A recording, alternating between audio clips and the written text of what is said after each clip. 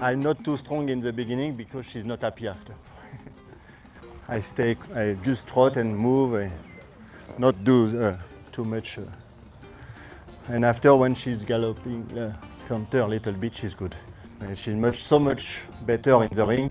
I'm not uh, work much in the flat. I ride her one time this morning, Okay, and you ride her again. and I, I, I jumped the class. And they- I think they start now.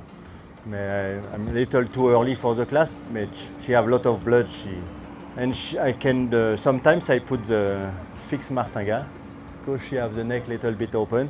When she she jumps, she's so careful. and with this, I uh, she work alone. I do just the move. and-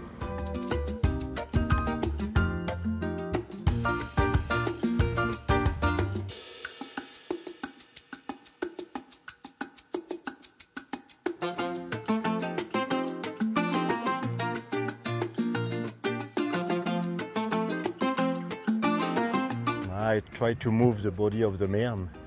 Me, I stay in the middle. Also, I work a lot the transition. At the end, she normally she listen me. I gallop faster, go slow, change, take time.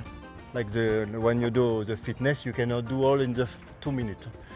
You need start with a small exercise, and and at the end, normally she have the connection.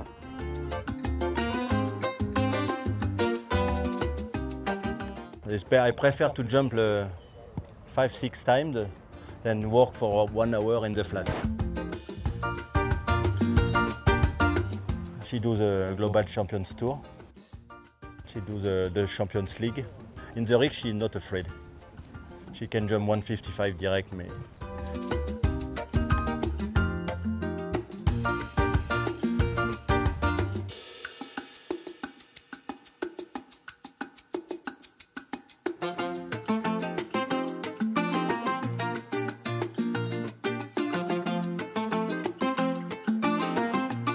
If they have a lot of blood, I prefer to stop uh, two horses before me.